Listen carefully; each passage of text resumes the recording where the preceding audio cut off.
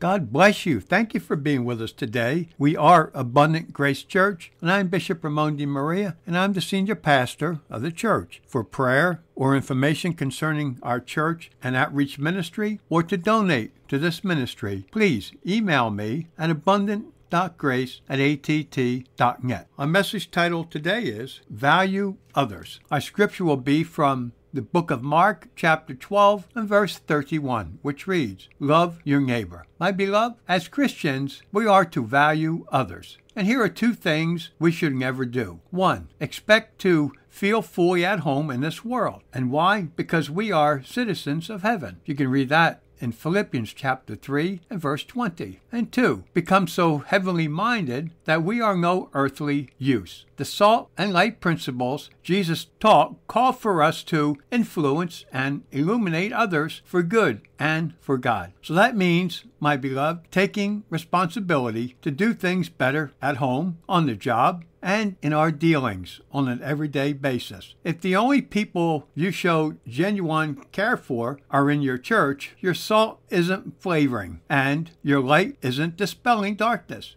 Jesus' command to love your neighbor includes the less than lovable. And you only love others when you add value to their lives. You ask, how do I do that? Well, number one, by truly valuing them. That calls for believing in them before they believe in you, serving them before they serve you, loving them before they love you, and giving to them without expecting anything in return. Two, by making yourself more valuable. But you can't give what you don't have. You must earn and grow in order to give and guide. Three, by knowing what they value. What happens when you're interested only in your own agenda? You know very little about the people around you. So, my beloved, make others' priorities your priorities. Ask to hear their stories. Discover their hopes and dreams. Make their success part of your mission. And four, by doing things that God values. You see, my beloved, when your life is done,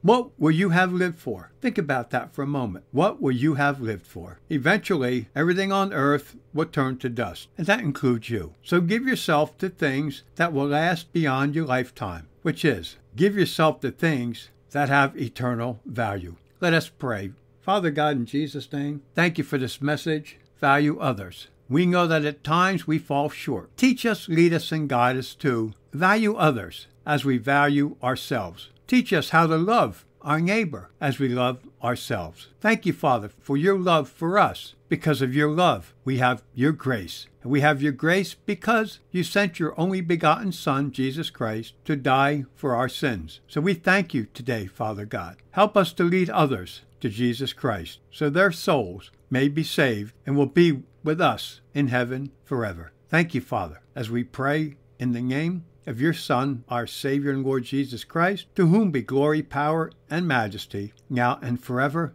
Amen. My beloved, love your neighbor today. Go out and tell someone you love them. Ask if there is something you can do to help them. Look for someone in need. Help them with the love of Jesus Christ. God bless you and go with God.